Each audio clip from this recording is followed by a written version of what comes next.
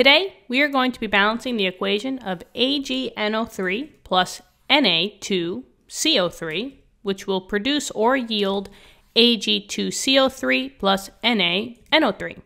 Okay, so I wrote down our chart and all of the elements or the polyatomics that I see on both the left and the right side. Remember, the polyatomic NO3 is nitrate and the polyatomic CO3 is carbonate.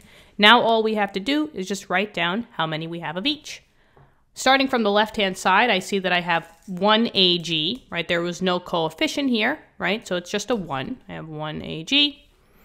Since I'm grouping together the polyatomic nitrate, NO3, the 3 is included in the polyatomic.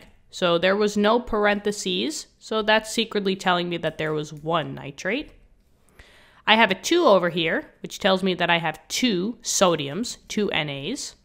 And then the same thing for the, the polyatomic carbonate, CO3. The 3 is included in the polyatomic. I don't see any parentheses, which means that there's just one carbonate.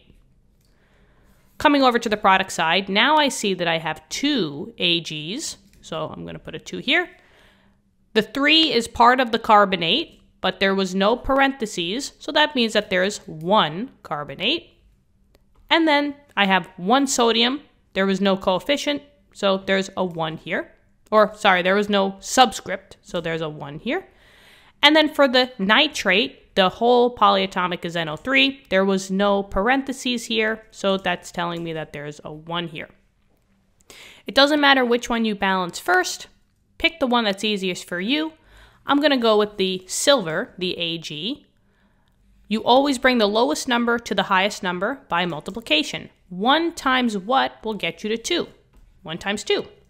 And whatever number that you stated is the coefficient that you put in front of the element that you're trying to balance.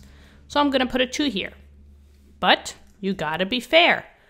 Whatever number that you put as a coefficient, you have to distribute to all of the elements and the polyatomics of that compound. So in this case, I have to distribute the 2 to the Ag and to the nitrate, the NO3.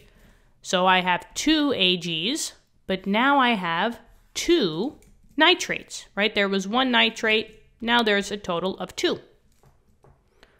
Okay, now let's see what I can balance. Well, the silvers are good.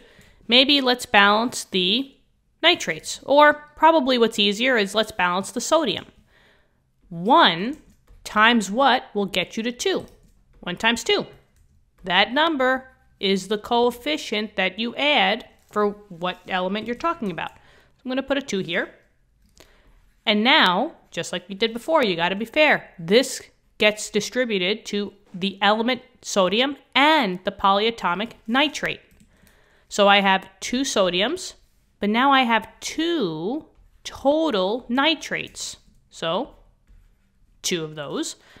But if I look back now, all of my elements and my compounds or my polyatomics are all balanced. So this one's done.